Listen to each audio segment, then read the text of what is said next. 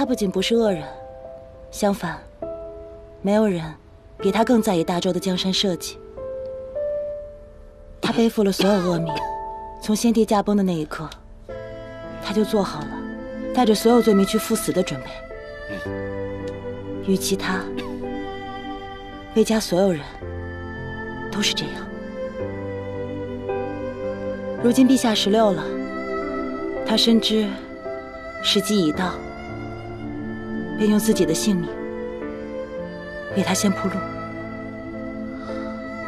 所以，他隐瞒叶家战亡的真相，也是一心求死。是，也不是。他有私心。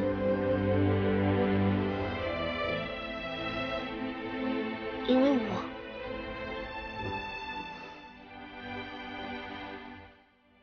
若是让你知道，这一切都是林微心做的，再来一次这样的打击，他怕你受不住。